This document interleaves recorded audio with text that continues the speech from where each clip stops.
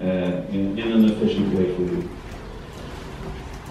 Finally, just to say that these are really big business. Looking at the European agencies, in, in uh, 2012 they issued bonds for 72 billion euros together. So this is really, they're really, as I said before, they have the possibilities to diversify.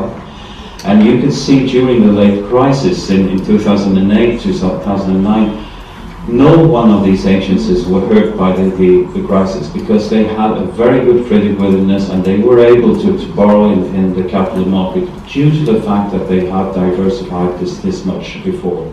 So uh, this is... Um, uh, CFOs of big municipalities, Lyon being one of them, were questioning the system quite early before Dexia's failure. And uh, after having succeeded in a very limited number of individual bond issues with French local governments going uh, on their own to the market, then there was this question of why not grouping yourselves together so that the amounts are a bit bigger.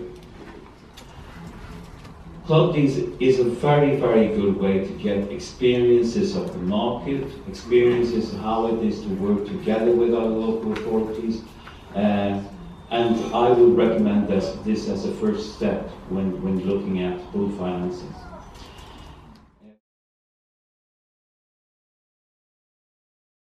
Happened since then. So you understand that if we stopped pool financing, it's because we found something even better.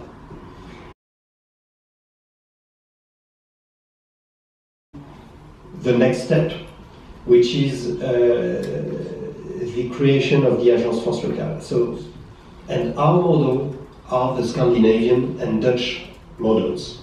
We, you know, we can be very inventive in France from time to time, we decided this time not to invent anything because we had created the worst possible company to fund local governments, I mean Dexia. So the only thing we could do is to have a look to the other countries who had succeeded in organizing correctly. And so we have organized a copy-paste of Scandinavian models to France. And the most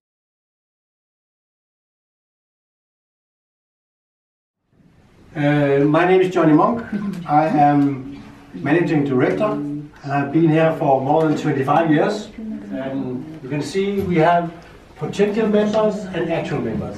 It took us 100 years to collect all the members in our institution.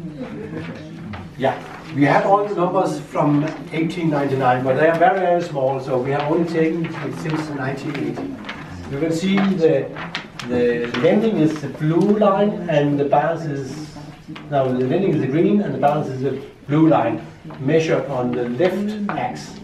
The equity is measured on the right axis and is red. So more or less, more or less, there's a parallel between this uh, development. Here we have, uh, which we are very proud of, of course, the market share in 1899 was very small, but uh, in 1980 it was roughly 40%. And then um, some changes um, meant that communities were not very competitive for some years.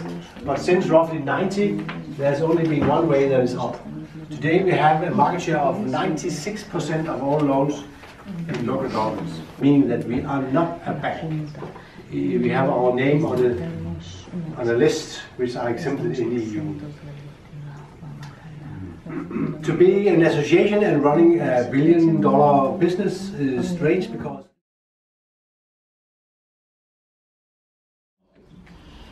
in all in all uh, agencies, existing agencies, this has led to lower prices for a lower cost of. We, we, in, in all cases that we've seen so far in, in all parts of the world, this has been the, the result.